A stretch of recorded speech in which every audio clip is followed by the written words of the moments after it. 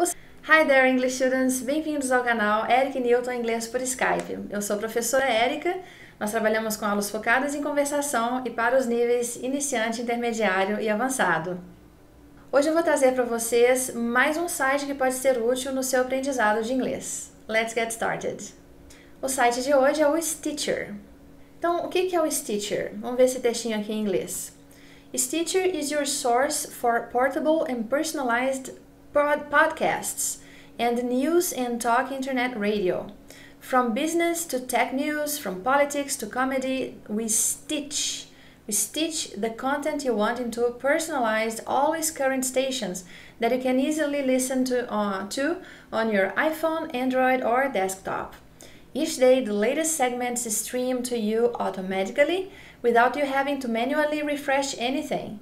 Stitcher puts the world of podcasts and talk radio at your fingertips anywhere, anytime, on the go. Perfeito para quem está aprendendo inglês, para quem fala que não tem tempo de estudar inglês, de sentar e fazer exercício e blá blá blá. É, para essas pessoas eu recomendo treinar pelo menos o listening, né? O listening. Mas o Stitcher, ele não é um site voltado para quem está aprendendo inglês, né? O que, que é o Stitcher? Ele reúne esse material aqui, internet um, talk, internet radio, news, uh, etc. Todos os tipos de shows, né? Politics, comedy, tudo isso. Uh, e reúne tudo isso. Então, assim, é uma fonte de material para você ouvir, principalmente quando estiver é, durante o tempo ocioso. Todo mundo tem um tempo ocioso durante o dia.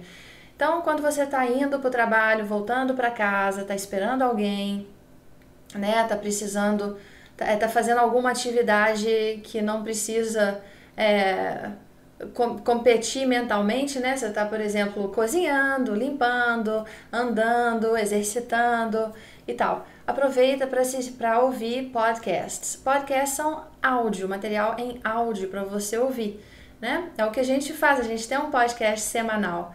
É, toda semana a gente faz é, um podcast, os, os assuntos dos nossos podcasts são é, tem a ver com cultura, com, com a língua inglesa, né? Com, tem poemas, tem. A gente fala muito de seriados, de filmes, de livros e tudo mais. Mas tem podcasts específicos, né? Então, para business, para tecnologia, para áreas específicas de conhecimento. E o legal é você decidir, dar uma olhada, uma pesquisada e ver quais podcasts te interessam, porque ouvir algo que te interessa pode ajudar a aprender mais rápido o inglês. Esse material, como eu falei antes, não é voltado para quem está aprendendo inglês. Não recomendo para iniciantes e alunos de nível intermediário. Apesar de que você pode sim ouvir esses podcasts sem a intenção de entender 100%. Né? Então eu digo isso para todo mundo. Toda vez que a gente vai ouvir alguma coisa, o objetivo principal não é entender todas as palavras, absolutamente tudo. O objetivo é ter a habilidade de pensar as informações principais. Né? Isso é importante, isso a gente tem que saber fazer. É, principalmente se você escutar uma vez só. Né? O ideal sempre é a repetição, ouvir o mesmo material várias vezes. Você vai fazendo isso, você vai perceber que a primeira vez é a pior de todas, é quando a gente entende menos, mas ouvindo o material uma segunda vez, uma terceira vez, a gente sempre pega mais elementos. Bom, então é, os alunos de nível iniciante intermediário vão achar muito difícil, mas não é algo que é que eu diria que é contraindicado, não. Acho legal ouvir, para já ir deixando o ouvido acostumado, mesmo sem entender muita coisa, tá? É, inclusive, é isso que eu faço com o alemão. Eu escuto vários podcasts é, que são em alemão, não entendo muita coisa, mas meu ouvido está ficando treinado para esses sons do alemão. Eu já consigo reconhecer mais palavras, mais e mais palavras, e isso é legal.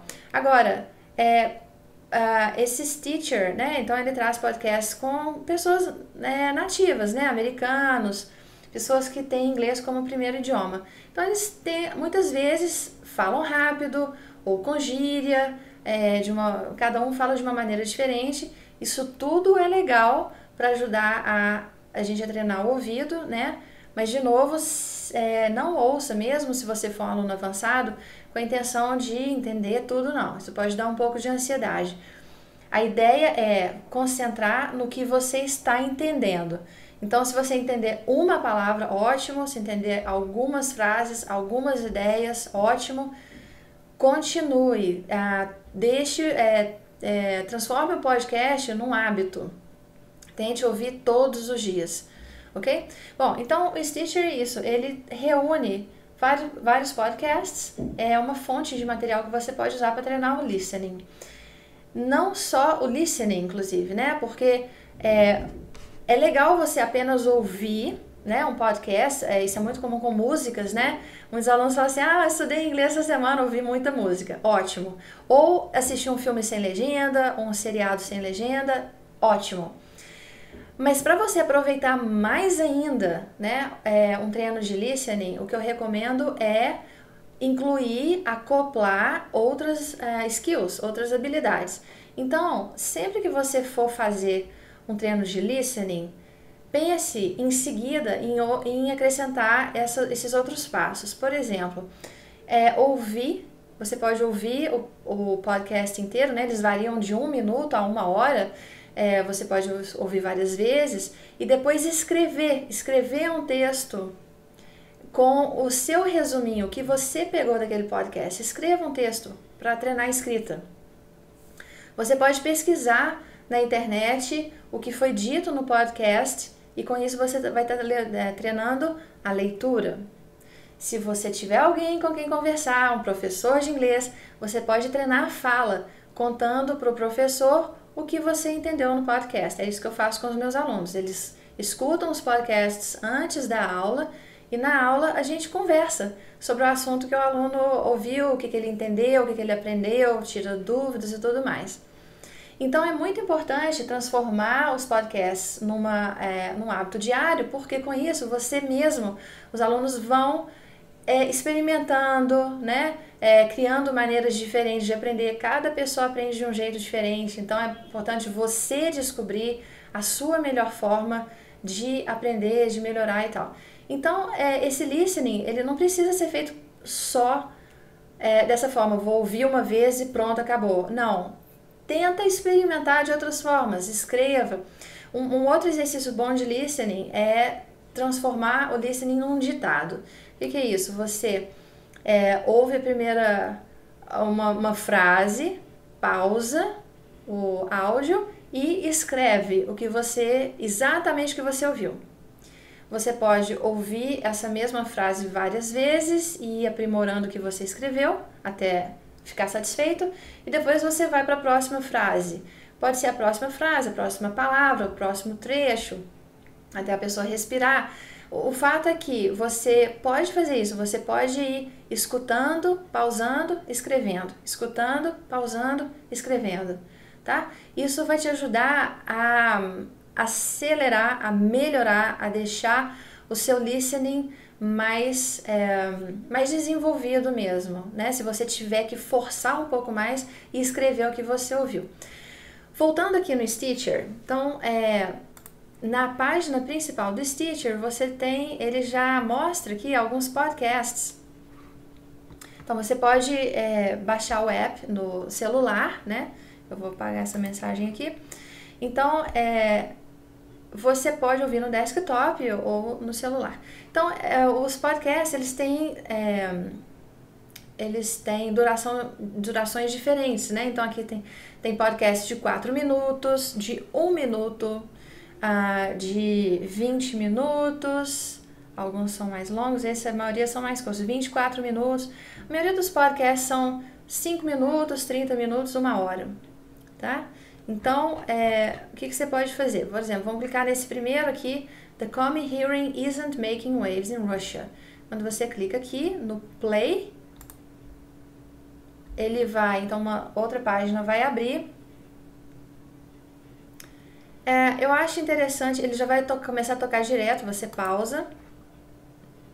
É interessante ler o Episode Info, é um resuminho para te preparar para o podcast, senão pode ser muito abrupto, assim, já começar sem preparação nenhuma. Apesar de que você já sabe que o podcast aqui é sobre o Comey, né? A, o Comey Hearing, e que na, isn't making waves in Russia.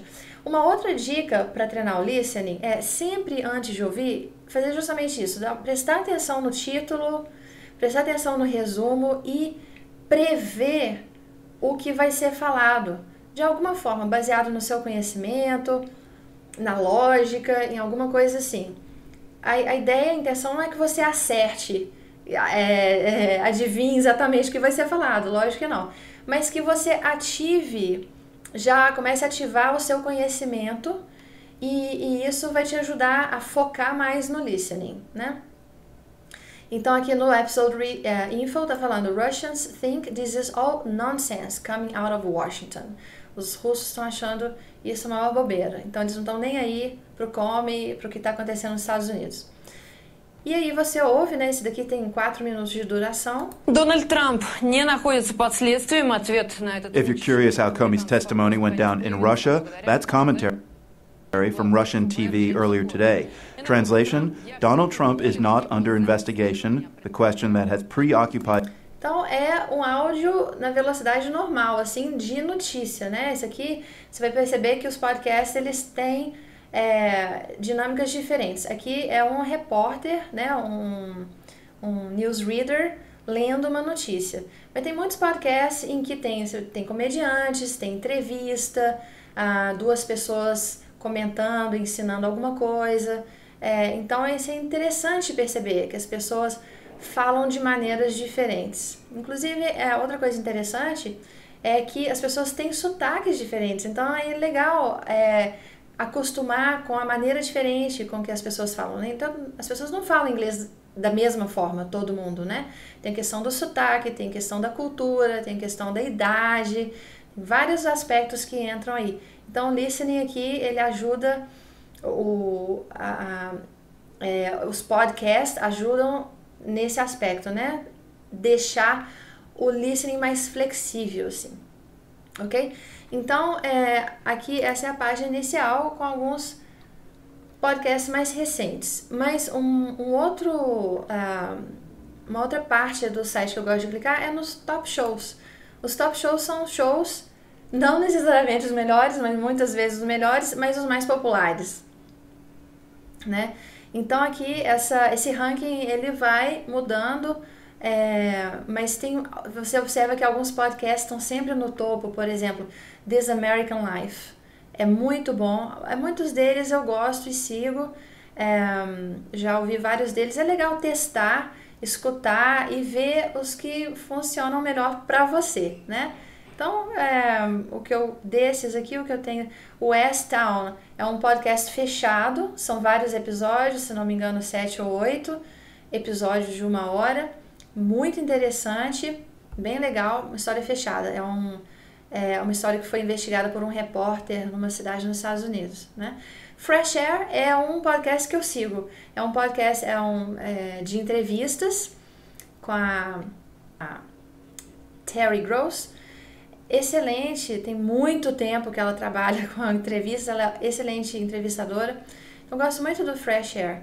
É, então é legal você, o TED, TED Radio Hour é maravilhoso. The Moth são histórias pessoais que as pessoas contam, é, experiências pessoais. É, Stuff You Should Know, Criminal, é muito legal também. Então é, é muito divertido até, ok? É legal você mesmo explorar isso aqui e tentar ouvir todos os dias, ok? Então é isso aí por hoje. I hope you liked the, the video today. Se tiver gostado, dê um like, compartilhe com os amigos, assine o canal. Thanks for watching, practice every day, and I'll see you next time.